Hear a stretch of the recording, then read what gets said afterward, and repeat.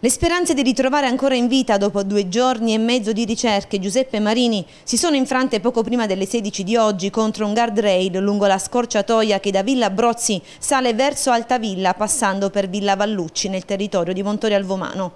I vigili del fuoco hanno prima avvistato la sua Toyota rossa giù in un burrone profondo ricoperto di fitta vegetazione, motivo per cui finora né i droni né l'elicottero erano riusciti a notarla.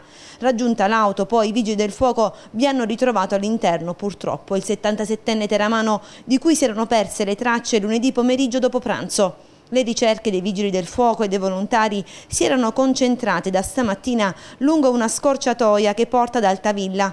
Qui infatti due telecamere di videosorveglianza private avevano immortalato il passaggio della Toyota Rossa proprio lunedì e proprio pochi minuti dopo che Marini era stato incrociato da un residente di Villa Brozzi. Il 77enne era diretto ad Altavilla lunedì, aveva appuntamento alle 17.30 a casa della sorella, ma non vi è mai arrivato. La salma è stata recuperata e trasferita all'obitorio dell'ospedale Mazzini di Teramo per autopsia e resta a disposizione dell'autorità giudiziaria da ricostruire adesso con esattezza che cosa abbia portato l'uomo a perdere il controllo della Toyota e a finire fuori strada lungo un tragitto a lui noto e più volte percorso.